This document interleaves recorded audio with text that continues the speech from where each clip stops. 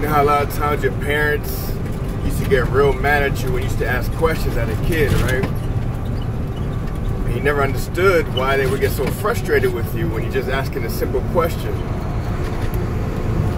And a simple question could be like, um, well, why do I have to do this? And they were like, because I told you so, because I'm your parent. That's how you're supposed to, you know, you don't question me. You just do what I say.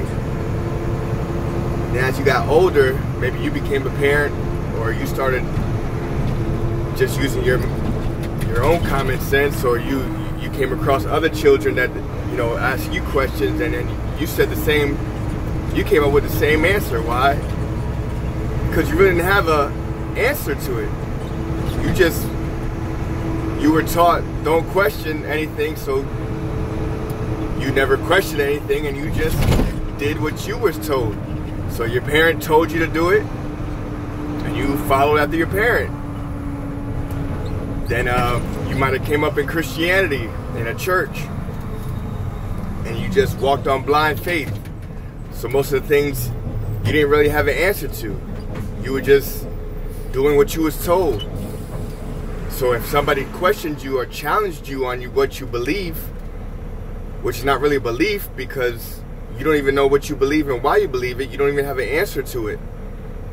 You would get mad and you get frustrated at the people who questioned your belief or challenged your belief system. So I see that now more than ever, and the reason why I'm bringing this up because I've seen it not only in my, I've seen it more. I'm dealing with me more more than anything.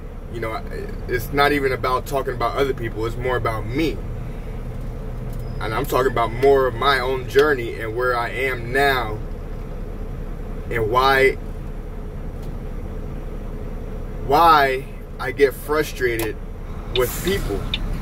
It is not it's not even that I get frustrated with people. I'm more frustrated if I if I'm honest with myself, I'm frustrated with me because I don't have no answer. I can't explain myself a lot of the times. So it's not it's not that the people are frustrating me. They're just showing me me. They're putting up a mirror even though they don't realize it they're putting up a mirror and showing me who I really don't even know I am. Showing me that I'm just, even though I might have left Christianity, I still have Christianity belief systems or actions. And it's not even Christianity because it's our parents, you know, our parents' parents. So, and that is a lot deeper than that, obviously, because we live in a system of not questioning. We live in a system of just doing what we are told.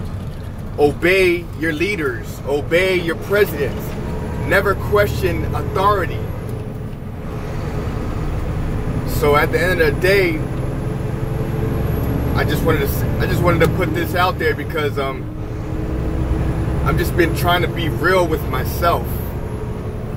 And uh I know I've said said this I've said this on occasions to other people, but I never realized how real it is in my life and real it is for everybody else, a lot of other people. You know what I mean? And that's where the whole only God can judge me. You know what I mean? It's because we hate being challenged. We hate being uncomfortable. We hate have not not we hate not having answers to our lives to why we live the way we live, to why we're in relationships that we shouldn't be in, to why we're doing actions that we know we shouldn't be doing. So at the end of the day, um, don't be scared to challenge yourself. I know it's about pride, it's about ego, you know, um, family members, people that I don't know, they unfollow my page all the time. Not because I'm disrespectful, but because they don't want to see what I have to post or what I have to say or what I believe in or what I choose to question. You know what I mean? So at the end of the day, I understand that most people don't want to be questioned. Most people don't want to be challenged in their life. I do. I always wanted people to be in my life to challenge me, challenge my my uh, my actions, challenge my beliefs. You know what I mean? No matter how angry I might get or frustrated I might get, I'm gonna get over it. But guess what? I'm gonna be better at the end of the day. Cause I know me, I know I'm gonna look back and say, man, after I get down off my emotional emotionalism, I always look back and say, damn, was I was I really wrong? Was that how I always gotta look at myself. What did I do? I always examine every action that I did, and if I truly if it truly wasn't me, then I go back and say, I try to explain myself and communicate if that person really wants to, you know, go back and forth and really come to a conclusion or solution to that problem or whatever it was, you know what I mean? So, with that being said, uh, if you truly are looking to grow in your journey, if you're truly looking to grow in this thing called life, you can't be scared not only to be challenged, but challenge yourself. We don't know what we don't know.